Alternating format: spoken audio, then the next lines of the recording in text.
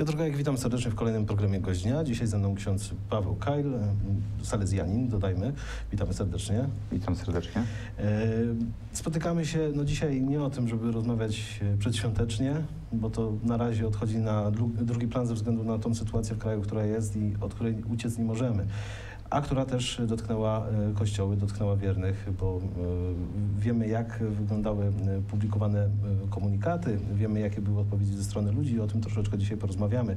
Ale zacznijmy od początku, czyli od e, samej informacji, która przyszła z góry. E, Jak to wygląda, jeśli chodzi o ten komunikat wydany, o to rozporządzenie z Waszej strony? Jak Wy e, to odebraliście i jak była ta informacja przekazywana dalej? Ksiądz biskup e, Legnicki, ksiądz biskup Zbigniew Kiernikowski wydał kilka e, e, zarządzeń związanych z tą sytuacją. One są aktualizowane w sytuacji, w której zmienia się też, no wiemy, dynamicznie e, to, co nas otacza. E, To ostatnie e, zarządzenie z wczoraj e, daje nam możliwość spotkania się e, w kościele e, w ograniczonej liczbie 50 osób, przy oczywiście zachowaniu e, zasad. Tak? Gdyby okazało się, że to jest jaka, jakieś mniejsze pomieszczenie, należałoby ograniczyć tę liczbę, tak żeby rzeczywiście odległość między osobami, które biorą udział w takim spotkaniu była bezpieczna. To są bardzo szczegółowe ustalenia, które odnoszą się chociażby do uroczystości pogrzebowych. Gdzie ksiądz biskup zaleca, żeby albo była to msza celebrowana rano w kościele parafialnym y, z udziałem tylko najbliższej rodziny, bez ciała zmarłego, albo sprawowana w dniu pogrzebu bez udziału wiernych, w takim terminie, który będzie y, wygodny dla y, dusz pasterza.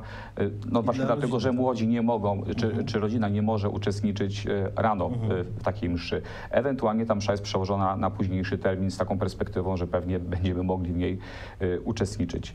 Y, Następne obrzędy mają się odbywać już bez udziału y, dodatkowych osób, znowu w ograniczeniu wszystkich, którzy i posługują, i pomagają w przebiegu całej uroczystości, maksymalnie 50 osób, bez wejścia do kaplicy cmentarnej, tak naprawdę, żeby znowu nie stwarzać tego niebezpieczeństwa zbliżania się do siebie osób i przekazywania y, patogenu.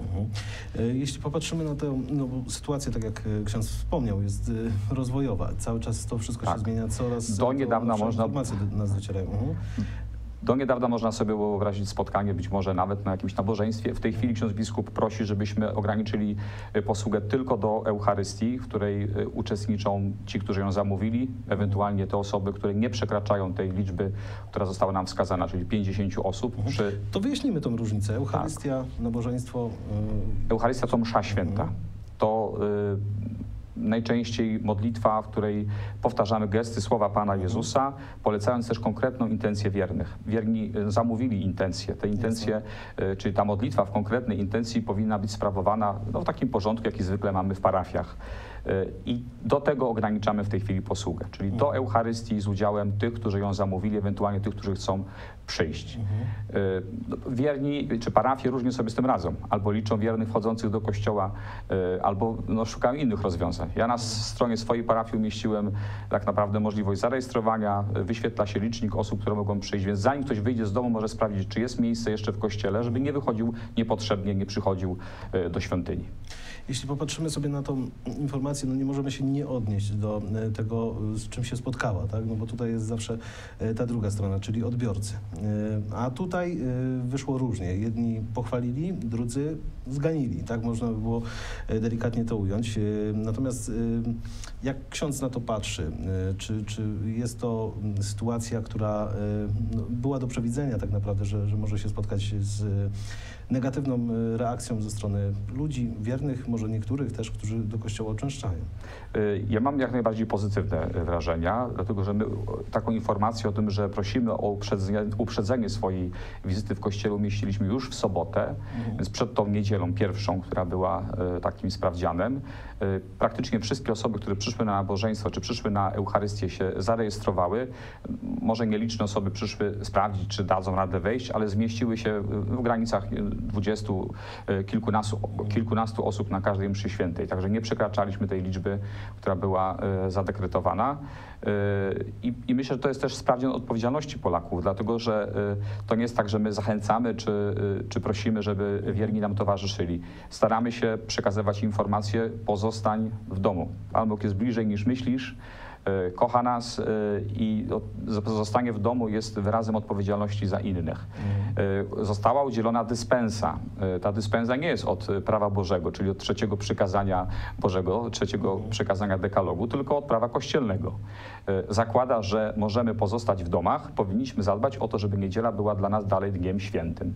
Możemy w rodzinie, która jest domowym kościołem, rozważać Słowo Boże, możemy uczestniczyć przy pomocy środków społecznego przekazu w mszach, e, nie oglądając je, ale modląc się, rzeczywiście trwając na modlitwie. E, Jesteśmy też zaproszeni e, przez księdza arcybiskupa Gondeckiego, przewodniczącego konferencji Episkopatu Polski do modlitwy różańcowej o 20.30. Kapłani są w kościołach, otwierają tabernakulum czy wystawiają Najświętszy Sakrament prywatnie, bez udziału wiernych, odmawiają tę modlitwę, wierni odmawiają ją w domach. W wielu parafiach bijemy w dzwony, żeby wiernym przypomnieć o, tej, o tym czasie modlitwy.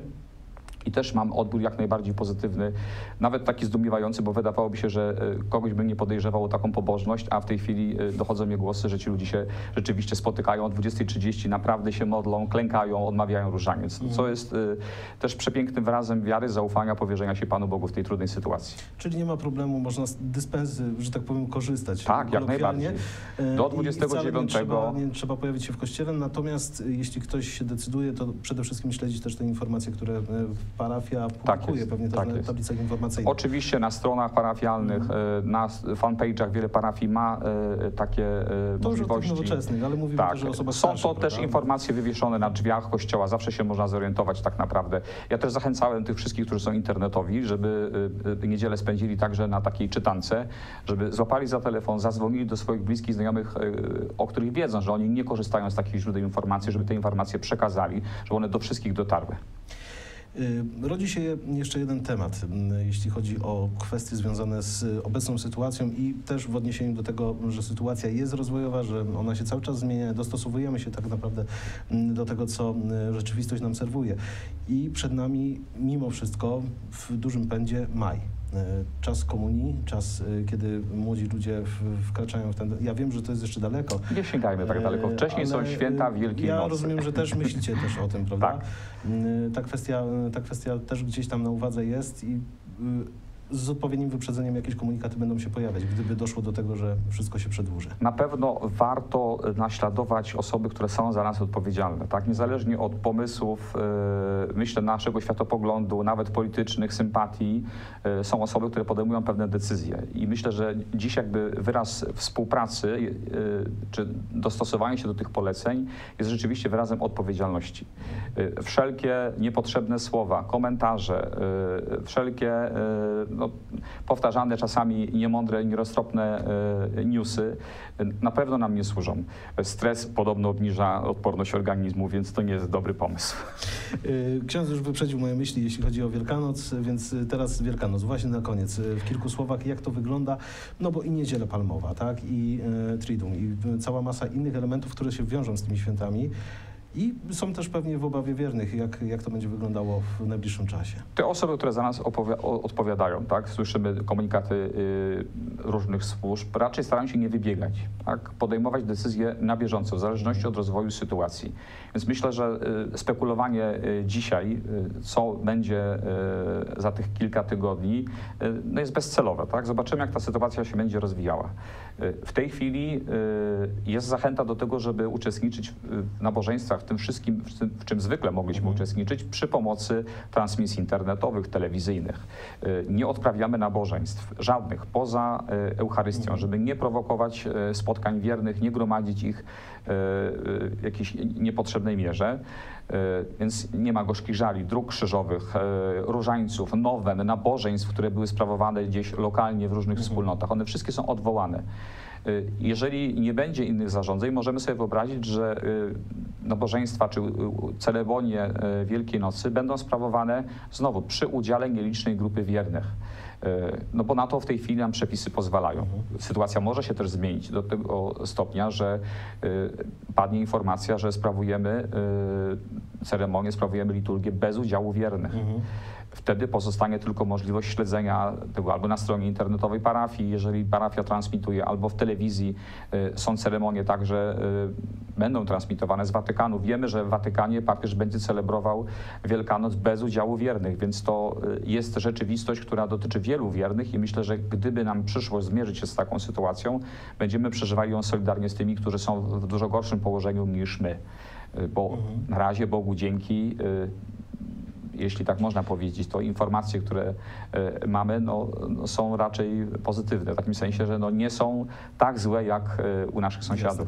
Ja pytam o to ze względu na to, że chociażby mniejsze miejscowości czy też e, gminy e, organizują często w, tym okresie e, pochody palmowe. Tutaj akurat gmina Grębocice może być przykładem. e, Tak, Nie ma takiej tak, możliwości. Ale teraz już wiemy, że, że w tej chwili to jest już niestety, Niestety- tradycja, do której nie znaczy, dojdzie w tym roku. To znaczy nie wiemy Raczej. tego na pewno. Do Oczywiście. 29, y, właściwie to nawet nie, bo y, zarządzenie księdza biskupa obowiązuje do odwołania w tej chwili. Mhm. Więc w zależności od tego, jak się rozwinie sytuacja, tak pewnie będą podejmowane decyzje. Jeżeli y, te zarządzenia zostaną odwołane, będzie możliwość uczestniczenia w, pewnie w celebracjach. Y, Jeżeli nie będą odwołane, no to będą ograniczone y, liczebnie do 50 osób, łącznie z tymi, którzy ceremonię sprawują, w nich uczestniczą, y, bo to nie dotyczy tylko udziału wiernych. Tak? Mhm. Wszystkie osoby muszą się zmieścić w, tej liczbie 50 osób. To tak na koniec, żeby też wierni mieli przede wszystkim jasność, gdzie szukać informacji tak na bieżąco, żeby można było w, danym konkretnym miejscu odnaleźć wszystko to, co jest potrzebne, żeby po prostu przeżywać też ten czas nadchodzący, te wszystkie elementy zachować zgodnie z, z wiarą i z, z nauką. No jeżeli chodzi o przestrzeń duchową, to w naszej diecezji to jest to strona diecezji legnickiej. Tam na pewno y, wszystkie komunikaty, bieżące informacje się pojawiają. Y, Jest zakładka profilaktyka y, koronawirusa, są numery telefonu też do wszystkich służb tam zamieszczone. Wiele parafii powiela te informacje na swoich stronach. Myślę, że, że te informacje są ogólnie dostępne. Jeśli y, tak się dzieje, że no nie korzystamy y, z internetu, nie mamy do niego dostępu, nie jesteśmy tak mobilni jak, jak młodsze pokolenie, to myślę, że warto chwycić za telefon, I do proboszcza na przykład. do proboszcza zadzwonić. Te numery są najczęściej y, dzisiaj ogólnodostępne, Mhm. nawet komórkowe, więc duszpasterze też słyszą zachętę od, od, od pasterzy, od biskupów, żeby dać swój numer telefonu wiernym, Mhm. żeby w razie czego mogli o coś zapytać, wygadać się, poprosić o pomoc. Myślę też piękna inicjatywa, bo ją widzimy, zastępy harcerskie, y, zastępy y, Ochotniczej Straży Pożarnej publikują numery telefonów druhów, y, które są do dyspozycji osób wymagających pomocy. No, ta, ta solidarność pięknie między nami kwitnie. Myślę, że mamy szansę naprawdę o siebie zadbać. Oby nam tej solidarności nie zabrakło w tym najbliższym czasie. Ksiądz Paweł Kajk był naszym gościem, salezjanin. Dziękuję serdecznie za Dziękujemy serdecznie za spotkanie.